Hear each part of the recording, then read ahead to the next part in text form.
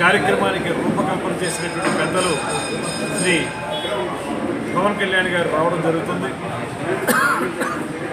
అక్కడ మత్స్యకార అభ్యున్నతి సభని చాలా పెద్ద ఎత్తున ఏర్పాటు చేయడం జరిగింది. ఆ కార్యక్రమంలో తొలి నుంచి కూడా పవన్ కళ్యాణ్ గారు మత్స్యకారు పట్ మత్స్యకారులు పట్ల ఉన్నటువంటి ప్రత్యేక శ్రద్ధను దృష్టిలో పెట్టుకుని అదేవిధంగా మత్స్యకార సమస్యల మీద ఆయన శ్రీకాకుళం జిల్లా నుంచి ఇక్కడ వరకు కూడా చేసినటువంటి అధ్యయన అధ్యయనాన్ని దృష్టిలో పెట్టుకుని దాంతోపాటు ఈ వారం రోజులుగా మేము చూసినటువంటి అంశాలని కూడా ఒక నివేదిక రూపంలో ఇచ్చి మొత్తంగా కలిపి మత్స్యకార సమస్యల మీద మత్స్యకార అభ్యున్నతి యాత్ర ఇవాటికి ఆరో రోజుకు చేరుకుంది. పదమూడో తారీఖున మా రాజకీయ వ్యవహారాల కమిటీ చైర్మన్ నాదెండ్ల మనోహర్ గారి చేతుల మీదుగా ప్రారంభించబడినటువంటి యాత్ర కాకినాడ గ్రామీణం కాకినాడ నగరం ఉమ్మిడివరం అమలాపురం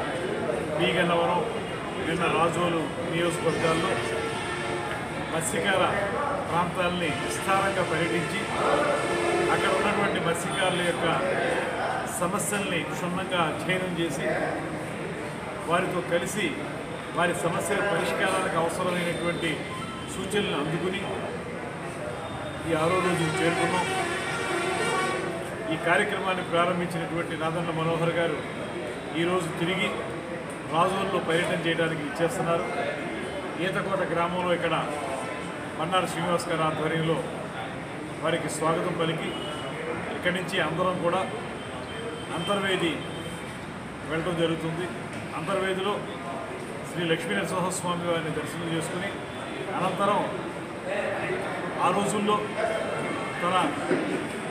ఆస్తిని వెచ్చించి ఆ ఆలయాన్ని నిర్మించి మత్స్యకారులకు ఆరాధ్య దైవంగా నిలబడినటువంటి ఉపనాథి కృష్ణమ్మ గారి యొక్క విగ్రహానికి పూలమాల వేసి అక్కడి నుంచి అంతర్వేది పల్లిపాలెం గొంది పల్లిపాలెం గ్రామాల్లో మత్స్యకారులతోటి ముచ్చటించి వారి సమస్యలను తెలుసుకుని ఆ తర్వాత సాయంత్రం మూడు గంటలకి సకినేటిపల్లి రేవు నుంచి రేవు దాటి పంట్ల మీదుగా నర్సాపురం చేరుకోవడం జరుగుతుంది. ఈ నరసాపురం చేరుకున్న తర్వాత ఈరోజు సాయంత్రం రేపంతా కూడా నరసాపురం పరిసర గ్రామాల్లో ఉన్నటువంటి మత్స్యకార గ్రామాల్లో పర్యటించి మనోహర్ గారు అదేవిధంగా పశ్చిమ గోదావరి జిల్లా నాయకులు అందరూ పర్యటించి ఇరవయో తారీఖున ఇరవయో తారీఖున పార్టీ అధ్యక్షులు ఈ కార్యక్రమానికి రూపకల్పన చేసినటువంటి పెద్దలు శ్రీ పవన్ కళ్యాణ్ గారు రావడం జరుగుతుంది. అక్కడ మత్స్యకార అభ్యున్నతి సభని చాలా పెద్ద ఎత్తున ఏర్పాటు చేయడం జరిగింది. ఆ కార్యక్రమంలో తొలి నుంచి కూడా పవన్ కళ్యాణ్ గారు మత్స్యకారు పట్ మత్స్యకారుల పట్ల ఉన్నటువంటి ప్రత్యేక శ్రద్ధను దృష్టిలో పెట్టుకుని అదేవిధంగా మత్స్యకార సమస్యల మీద ఆయన శ్రీకాకుళం జిల్లా నుంచి ఇక్కడ వరకు కూడా చేసినటువంటి అధ్యయన అధ్యయనాన్ని దృష్టిలో పెట్టుకుని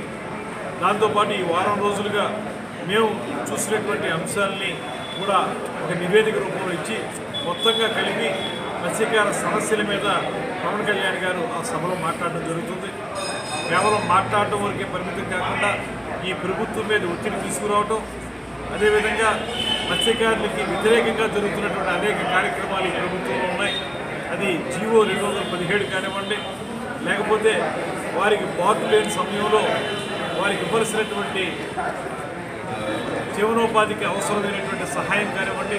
ఇటువంటి అంశాల్లో ఈ ప్రభుత్వం సరైన నిర్ణయాలు తీసుకోకపోవడం అనేటువంటి దాన్ని మనం ఏ విధంగా చూస్తున్నామో ఇబ్బంది కలుగుతుందో దాన్ని పవన్ కళ్యాణ్ గారు పూర్తి స్థాయిలో మాట్లాడడం జరగడం మాత్రమే కాకుండా రాబోయే రోజుల్లో జనసేన పార్టీ తరఫున